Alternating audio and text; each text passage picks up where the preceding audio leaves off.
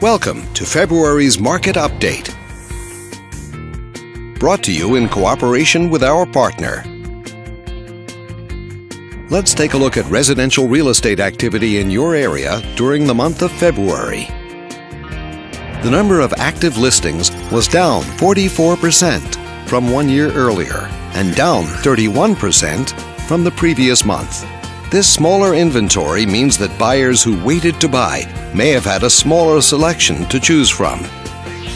As you can see, the median listing price for the month was just under $300,000. Compared to last year, the average number of days that units spent on the market before being sold was up 7%. This higher number of days may signal a slowdown in the local inventory turnover rate.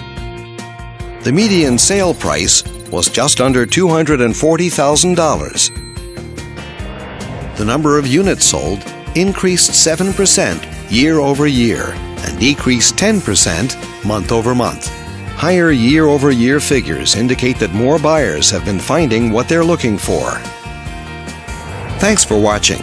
We hope you use this information to make smart, informed decisions in your upcoming real estate transactions.